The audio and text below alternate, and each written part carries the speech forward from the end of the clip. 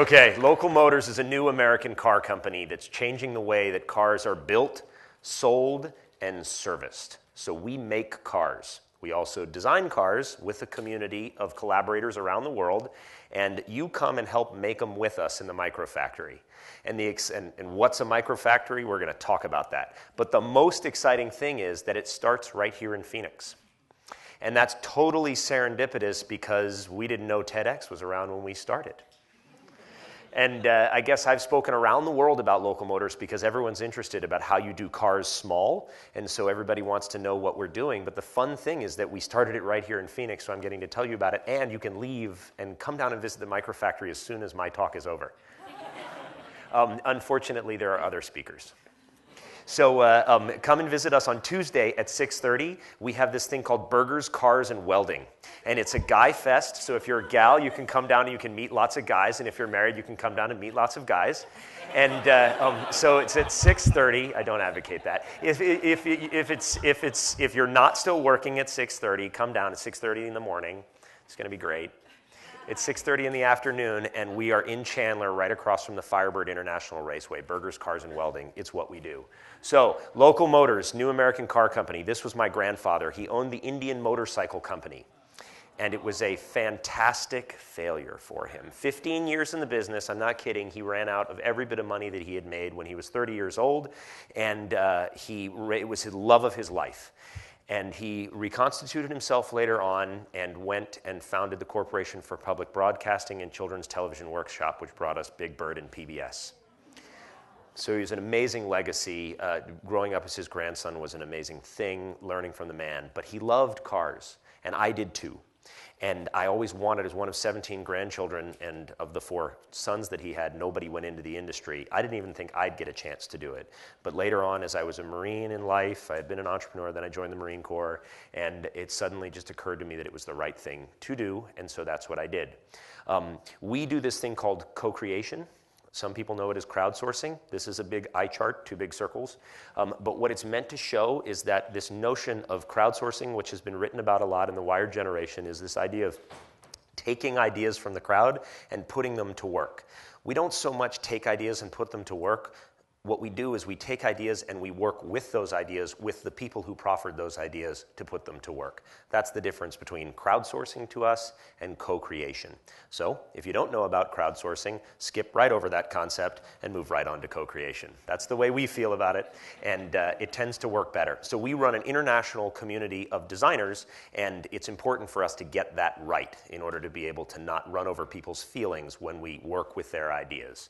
So, um, another big word word that gets thrown out a lot is open source. Open source is different than crowdsourcing, it's different than co creation, and trust me, I am going to get to talking about cars, but we need to talk about some chickens and eggs first.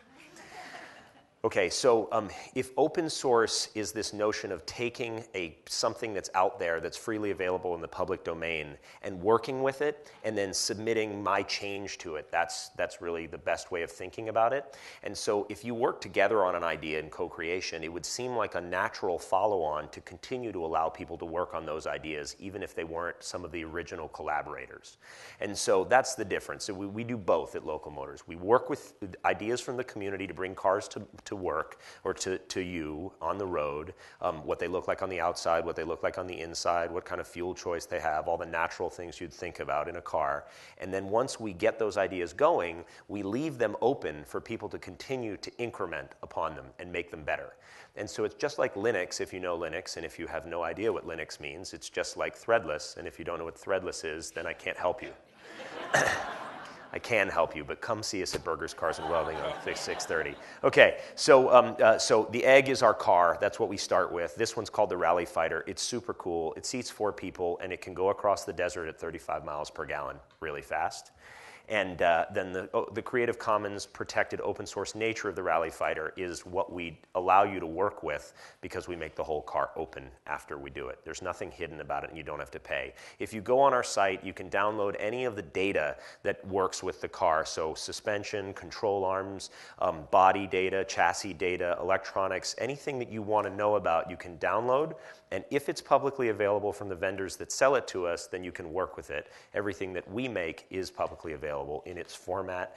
Um, and if you don't know how to work with those formats, we also try to bring some education along in tutorials so that you can use that too. So if you want to change your seats on the interior, if you want to change your uh, exterior look, if you want to change uh, the way that the hinges work on the door, it depends on how deep you want to go or how big you want to go. We make it possible for you to be a modder, we call it.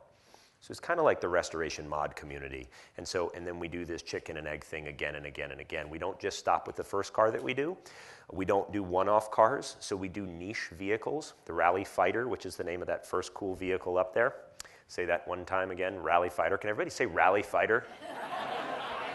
That's awesome so great. Thank you. It, was an indulgence. So, uh, um, so we do the Rally Fighter. We've got 70,000 designs on our site right now, and we'd like to bring all of them to market in microfactories, just like the one in Phoenix. So chicken and the egg many times over. So we make cool cars. That's our promise. We have a community that's incredible. If you don't know them, come online, come to a Burgers Cars and Welding, and meet these folks. They want to collaborate on cars, and you never knew how crazy and fun they were. We have a very open source nature, which we've talked about, which means all of our data is available for you to mod and take down. Our ownership experience is one of the coolest things about the business. You can come in and build the car. In fact, you have to come in and build the car with us. It takes two weekends, and you'll learn everything there is to know about a car. It's a, friendly thing. We want you to bring friends. So if you buy one of our cars, you can bring three friends with you. You can bring family, you can bring the kids, that kind of thing. We can't take more than four or five people at a time, so don't bring a 100, or they'll have to watch. And, uh, um, and then everything's local. So we started here in Phoenix, and that's our local microfactory location. First one. We'd like to put 30 of them around the country and then put them around the world.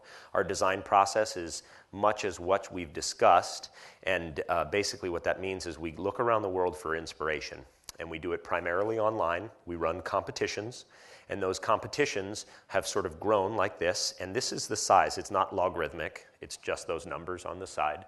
And so we have 8,000 contributors roughly today on our cars, which is pretty strong when you consider the open source community of something like the Linux kernel to be in the 2,000 to 3,000 person range. We've got a lot of collaborators that are working hard on our cars. That sort of right sizes it for you. This is what our age distribution looks like for those of you that think this is only for the purview of people 60 to 70 who are good resto modder hot rodders, and for people who are 15 to 25 who have a lot of time to hack things. Um, we have a pretty good age distribution, in case that helps. These are some of the sample competitions that we've run. So we tend to make them geographically located or psychographically located, which is a big word for if you imagine yourself to be a pilot. Or if you imagine yourself to be a soldier, you imagine yourself to be a mother of three, even though you have 10 children, or a mother of three, even though you have one. Um, uh, the, this is what a psychographic is about. And so we do lots of different competitions, but they're all focused on the niche.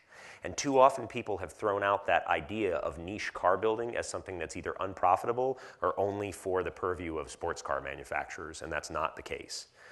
So we run these competitions and we take in ideas and we develop concepts. And these are the things that Harley Earl, who was a famous designer for General Motors in the 1950s, really brought to the fore.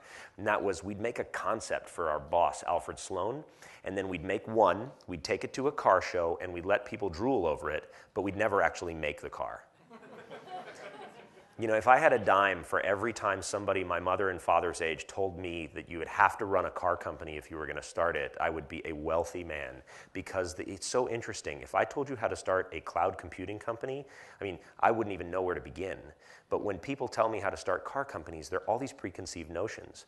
Like concept cars don't ever get built, and you have to you have to produce at mass scale, and there's a minimum efficient volume of a million cars, and big car factories are the only way to build things, and dealerships are boring and awful places to do business, and you know Saturn was a great car company, and uh, you know, and all these kinds of things, and there are all these notions that we all know, even though we may do many many different things in our life. So I'm here to dispel some of those notions notions. Concept cars can be real.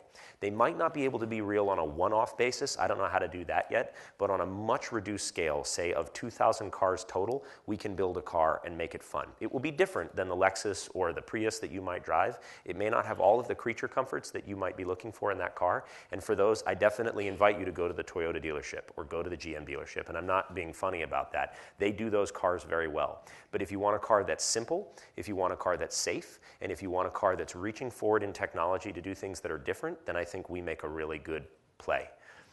So this is a little bit about our community, and what it says is the black line is the one to watch here. The black line is sort of the growth of people who uh, take part in our competitions, and then the other lines play off the black line. So green is how much cash we award in a competition.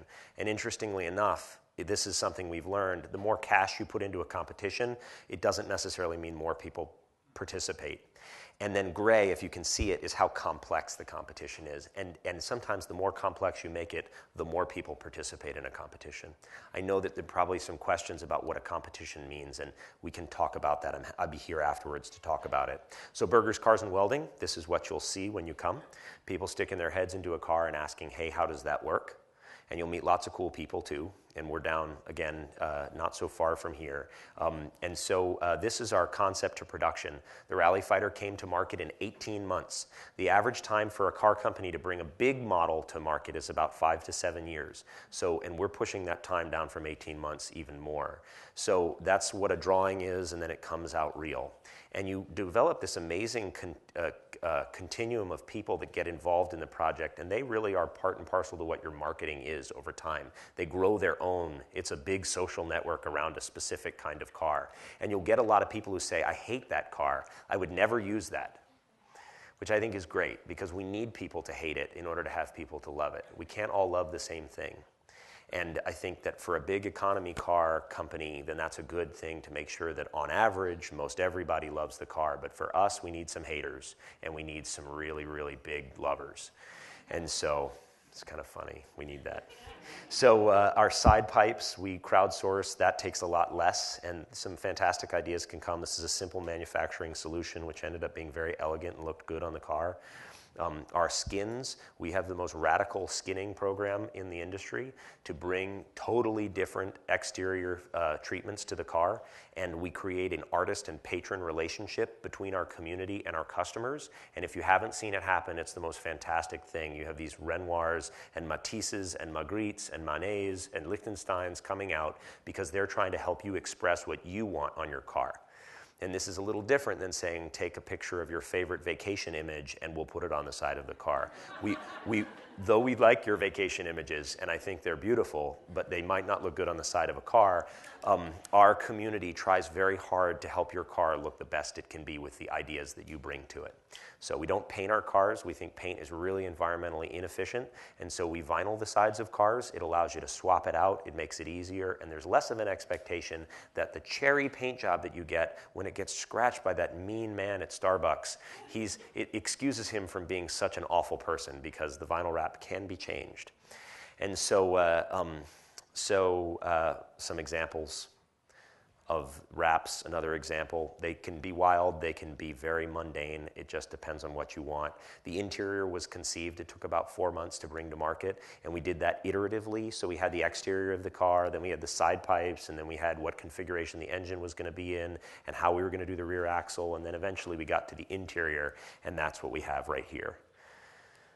So, uh, just a note about how we bring components together. Local Motors makes cars but we don't make components. So we make exteriors, interior chassis parts, and we do the interior of the car, but we buy all DOT compliant and DOT certified components. So lights, brakes, door handles, hinges, all of these things. And there's a good reason to do that. Those parts are really robust and they've been very well tested, and there is an enormous network of people out there that make them and service them.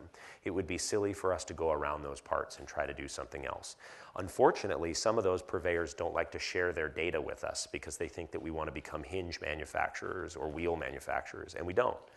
But there's a lot of fear out there, and I think the US auto industry has led the road in the fear greed cycle, which means when I'm wealthy as a company, you're gonna pay supplier. And then when the supplier's like, haha, when we've got the money, you're gonna pay. And they just go back and forth and they swap fear and greed. And we're trying to break that cycle. And we're trying to break it by saying that we'll do business with you if you give us the data that you have for your hinges. And in exchange, you've got to help us, um, and we will promise to make sure that the customers don't abuse use that. And so it, it sort of lifts the theory of trust. So we take that data, you can see in the column that's all the way over on the far side, your left, my right.